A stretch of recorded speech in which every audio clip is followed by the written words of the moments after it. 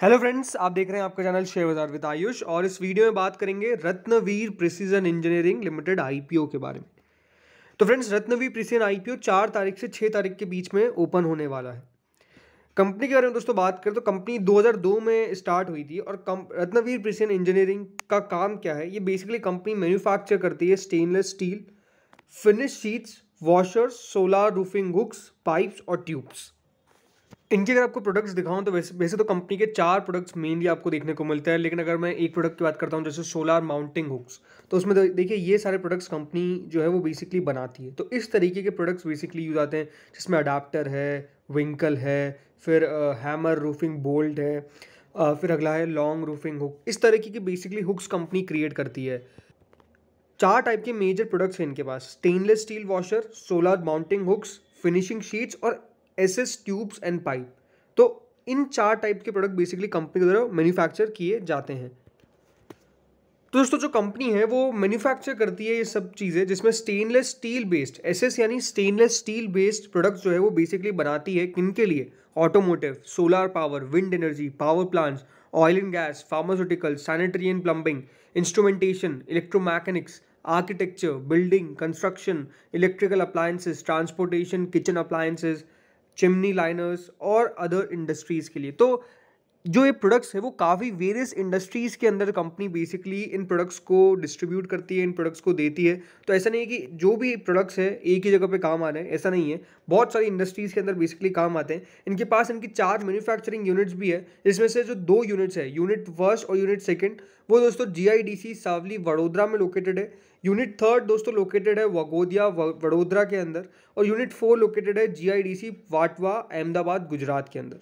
तो इस, इन इन चार जगहों पे दोस्तों कंपनी की मैन्युफैक्चरिंग फैसिलिटीज़ आपको देखने को मिल जाती है और जो कंपनी की मैन्युफै जो कंपनी मैन्युफैक्चर करती है stainless steel finishing sheets stainless steel washers stainless steel solar mounting hooks ये सब दोस्तों बनते हैं यूनिट वन पे एस पाइप्स और ट्यूब्स यूनिट सेकेंड में। यूनिट थर्ड और यूनिट फोर्थ के अंदर company dedicated backward integration process करती है और यूनिट थर्ड के अंदर कंपनी मेल्टिंग यूनिट जहाँ पे स्टील स्क्रैप होता है बेसिकली वो जगह उनके लिए रख रखी है। यूनिट फोर पे रोलिंग यूनिट होता है। बट बेसिकली इतना डिटेल में जाने की बात नहीं है। बट जो कंपनी का प्रोडक्ट है, वो बेसिकली आपको मैंने बता दिया कि होता क्या है। अब दोस्तों कंपनी ने बताया कि इनका जो पोर्टफोलियो है, इसमें जो एस एस वॉशर्स है, यानी स्टेनलेस स्टील वॉशर्स है, वो कितना ऐड करते हैं? वो ऑलमोस्ट दोस्तों इनका करेंटली ऑफ़र करते हैं two thousand five hundred skill S के यूज़ और ऑफ़ एस एस वॉशर्स जिसमें inner ring washers spring washers nut lock washers ये सब आ जाते हैं। अब अगर मैं बात करता हूँ दोस्तों इस कंपनी के फिनेंशियल्स के बारे में तो कंपनी के फाइनेंशियल्स में आपको एक बात पता चलेगी कि जो ग्रोथ है, वो डेफिनेटली देखने को मिली है on in terms of revenue मतलब ऐसा नहीं कि ग्रोथ नहीं आई है।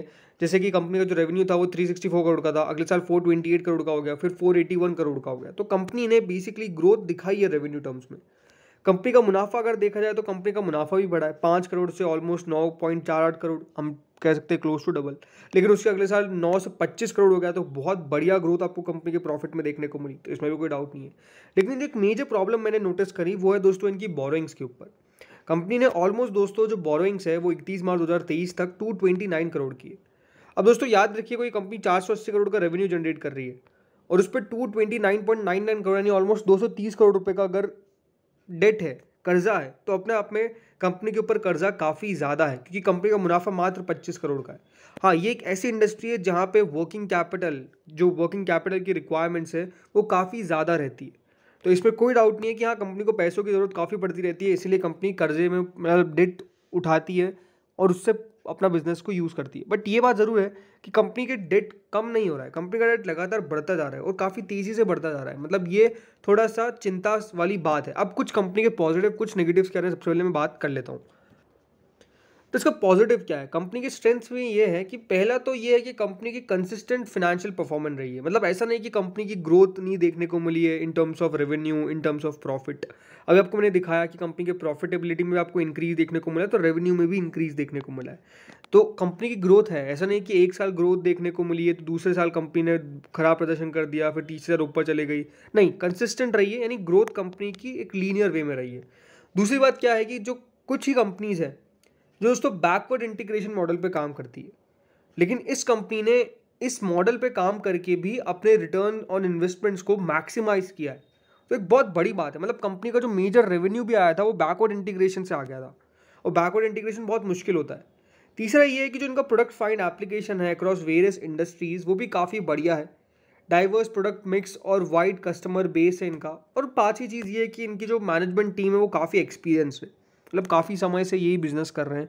और इन सब के अंदर काफ़ी उनका मतलब अगेन ये बिज़नेस कर रहे हैं तो उनका काफ़ी एक्सपीरियंस भी बढ़ता जा रहा है।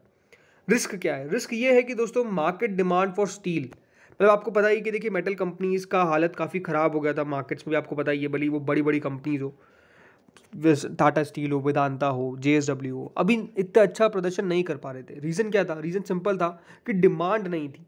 तो याद रखिए, ये एक ऐसा सेक्टर है जहाँ पे वॉलेटिलिटी इकोनॉमिक कंडीशंस बहुत इम्पैक्ट करता है कंपनी के बिज़नेस को।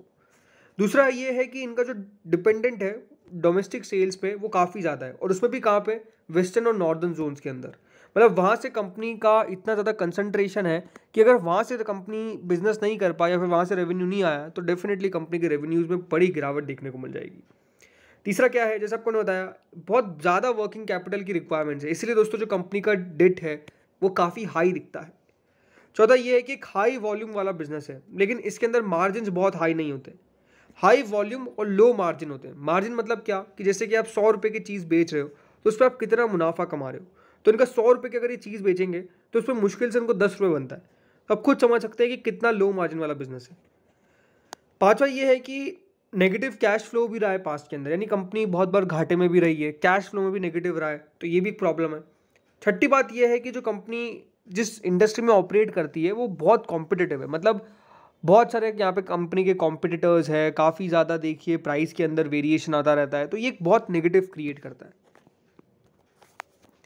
दोस्तों, ये जो आईपीओ है कंपनी अपना आईपीओ प्राइस लेके आई है नाइन्टी एट रुपीज़ पे। डेढ़ सौ शेयर कुल मिलाकर आपको मिलने वाले हैं। टोटल जो इशू साइज़ है, वो वन सिक्सटी फाइव करोड़ का है।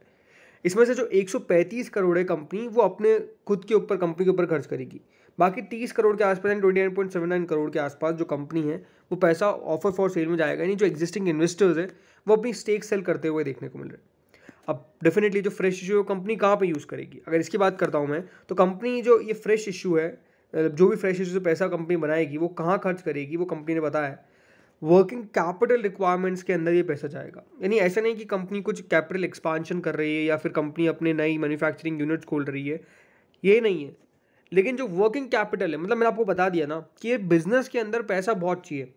तो पैसा चाहिए इसीलिए कंपनी या इस, ये जो पैसा है, वो बेसिकली वर्किंग कैपिटल रिक्वायरमेंट्स के लिए यूज़ करेगी।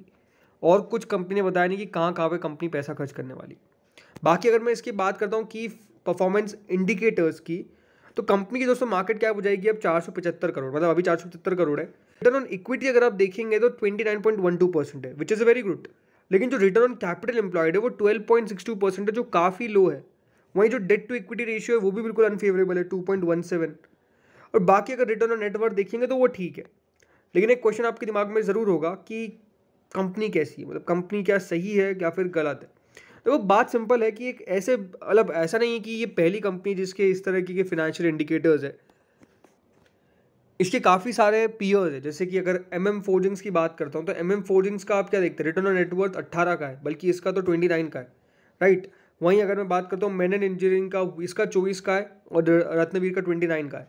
वहीं वीनस पाइप्स एंड ट्यूब अभी हाल ही में आया था, ये कंपनी भी, इसका नाइन पॉइंट एट थ्री का है। तो बात सिंपल है कि जो कंपनी जिस लेवल्स पे अपना आईपीओ लेकर आई है, वो लेवल सही है मतलब वैल्यूएशन कंपनी हाई नहीं लेके आई, ये बात बहुत अच्छी है। लेकिन कंपेटिवली आपको पता है इशू वैसे ही बहुत छोटा है, एक करोड़ का है, उसमें से भी कंपनी ने कुछ पैसा तो अपने एंकर इन्वेस्टर जो डाले जो ऑलमोस्ट फोर्टी करोड़ है। तो ऑलरेडी आईपीओ छोटा, उसके ऊपर और छोटा हो जाएगा। तो इस आईपीओ के अंदर पैसा तो बन जाएगा, मैं आपको ये कह सकता हूँ। कंपनी के अंदर बहुत खास बातें हैं, नहीं है तो मुझे लगता है कि ठीक ठाक कंपनी मतलब बहुत बेहतरीन कंपनी भी, इसको मैं किस बेसिस पे कहूँ ये अपने आप में क्वेश्चन है। लेकिन ये है कि हाँ इस कंपनी ने जो वैल्यूएशन पे अपना आईपीओ लेके आई, वो बहुत सही वैल्यूएशन पे लेके आई इन्वेस्टर्स के लिए जगह छोड़ी है। ऐसा नहीं कि इन्वेस्टर्स के लिए जगह नहीं छोड़ी है। हाँ कुछ नेगेटिव्स है, लेकिन अगर लिस्टिंग गेन के लिए मुझसे आप पूछेंगे तो मुझे लगता है कि पैसा बन सकता है। अगेन ये मेरा पर्सनल ओपिनियन है। कोई रिकमेंडेशन नहीं है, आपको क्लियर कर देता हूँ। लेकिन स्टिल ऐसा लगता है कि हाँ यहाँ पर लिस्टिंग गेन का पैसा बन जाएगा। जो अभी करंट ग्री मार्केट है, वो है फोर्टी एट रुपीज़ यानी forty eight point nine eight percent के आसपास का प्रीमियम चल रहा है। लेकिन ये एक ऐसा आई जिसके अंदर सब्सक्रिप्शन अच्छा निकल के आएगा तो ये बात भी ध्यान रखिए अलॉटमेंट मिलना बहुत आसान नहीं है। दूसरी बात यह है कि टी कैटेगरी का आईपीओ है ये। टी कैटेगरी मतलब क्या? कि दस दिन तक दोस्तों ये आफ्टर लिस्टिंग पाँच पाँच परसेंट के सर्किट पर ट्रेड करेगा। उससे बड़ा सर्किट नहीं होगा इसका। तो वो बात भी आपको ध्यान रखनी है। तो ये हाँ ये वो इशू है जिसके अंदर अलॉटमेंट मिलना बहुत आसान भी नहीं है, क्योंकि छोटा सा इशू है जल्दी जल्दी भर जाएगा। तो वो बात भी है। बट ये है कि हाँ ठीक है, अगर लिस्टिंग इनके लिए पैसा लगा रहे हो तो ठीक है, कोई दिक्कत वाली बात नहीं है। तो इस वीडियो में दोस्तों इतना ही था। होपफुल आपको वीडियो बढ़िया लगा होगा। आपका क्या मानना है इस कंपनी को लेकर? ये मुझे कमेंट सेक्शन में बताइएगा thank you friends watching this